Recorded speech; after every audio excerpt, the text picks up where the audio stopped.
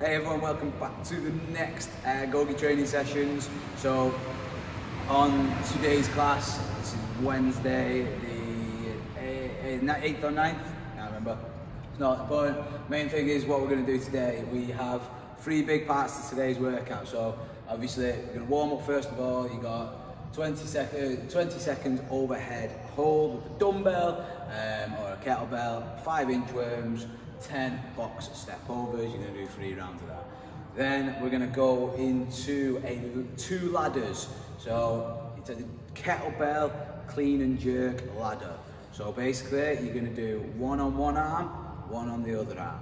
You're gonna do two on one arm, two on the other arm. You're gonna keep going all the way up to 10 reps. You're gonna try and do that twice. There's a 15 minute cap on it.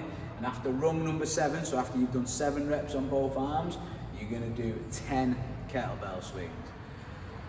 Important thing with this is guys, it's a bit of skill work, it's not supposed to kill you, you've only got 15 minutes to get through it, but you can rest as needed between rungs. So if you're pretty gassed, pretty tired, you can stop. And again, the important thing being you don't need to kill yourself um, trying to get through in 15 minutes. Just get through as much as you can with good quality recovery and quality reps.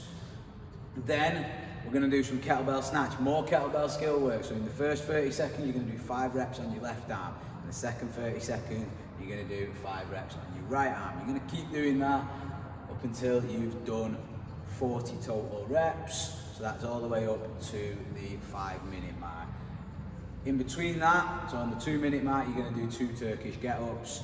Um, again, all these all these movements will be linked up in the video in the notes below, just in case you're not sure. So again, another five minutes of work there. You can modify that appropriately. You might want to do less reps. You might want to change the weight. It's entirely up to you.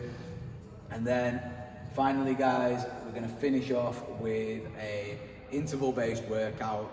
Goal be going to go hard for two minutes, rest for one.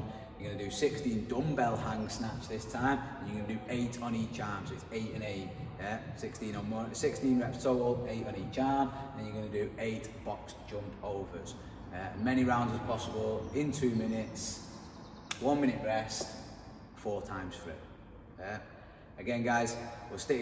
I want you to stick sometimes. This is a 15 minute cap. This is another five minutes. We're going to roll straight through these as much as possible, and we're going to straight into this. Yeah. I'm going to be aiming to start this at half past 25 to at least. Enjoy, guys. Peace.